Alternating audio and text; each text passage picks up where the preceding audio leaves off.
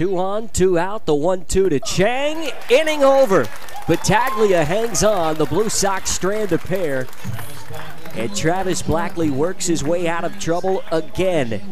We go to the last of the fourth inning. This has been a fun ball game. Sydney on top of Brisbane, 5 2.